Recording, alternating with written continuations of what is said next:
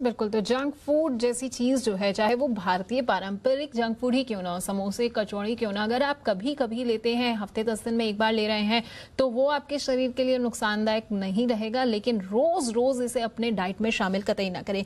Doctor विवेक पिंदल एक चीज़ मैं आपसे जानना चाहूँगी, ये जो पूरी रिपोर्ट है, जिसमें ये बताया गया है कि बच्चे जो है, वो सबसे ज़्यादा भारतीय बच्चे जो है, मोटापे के शिकार हो रहे हैं। चीन के बाद दूसरे नंबर पर जो है, वो भारतीय बच्चे आते हैं। लेकिन अगर हम इसी रिपोर्ट को देखें तो ओवरऑल रिपोर्ट ये भी बताती है कि भारतीय जो है वो बहुत ज़्यादा मोटापे के शिकार नहीं है। तो ऐसे में यानी कि हमारा आज तो कहीं ना कहीं यहाँ पर सुरक्षित दिख रहा है लेकिन आने वाला कल जो है वो कहीं ना कहीं अधर में नज़र आ रहा है क्योंकि बच्चे जो है वो बहुत ज़्यादा प्रोन हो गए आज ओबिसिटी के।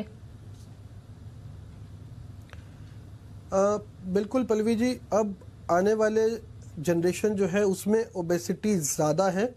परंतु आज में जो हमारी एडल्ट पॉपुलेशन है, उसमें भी परसेंटेज वाइज हिंदुस्तान में ओबेसिटी कम है। परंतु पॉपुलेशन इतनी ज़्यादा है कि इवन अगर पॉइंट वन परसेंट भी ओबीज हैं तो वो बहुत बड़ी संख्या है। हम हर रोज़ ओबीज लोगों का इलाज करते हैं। अमूमन एवरेज डे पे मैं कम से कम दस ऐसे मरीजों को देखता हूँ जिनका डेढ़ सौ किलो से ज़्यादा वज़न हो चुका है। और हम इतने सारे बच्चों का ऑपरेशन कर चुके हैं बेरियाट्रिक सर्जरी करनी पड़ती है हमें, जिनका सवा सौ, डेढ़ सौ किलो वज़न पंद्रह साल की उम्र में, चौदह साल की उम्र में, अठारह साल की उम्र में हो चुका है। जो चल नहीं सकते हैं, जिनको स्लीप एपनिया है, जिनको रात को सोते हुए मशीन लगानी पड़ती है। तो हिंदुस्तान में मैं ये नहीं कहूँगा कि आज भी सुरक्षित है।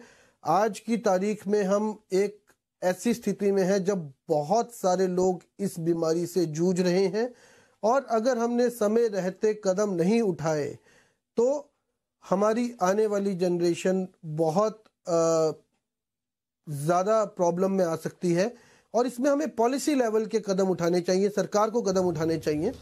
इसके अंदर उन्हें जो फैट है, जो जंक फ़ूड है, उसके ऊपर टैक्सेशन डिसइंसेंटिव्स होने चाहिए। ऐसे डिसइंसेंटिव होने चाहिए जिससे वो बिल्कुल जैसा कि बात पहले भी एक दो बार बीच में आपने बिल्कुल डॉक्टर बिंदल सही कहा कि सिन टैक्स अगर लग जाता है तो कहीं ना कहीं ये भारतीय सिस्टम के लिए जो है बेहतर रहेगा।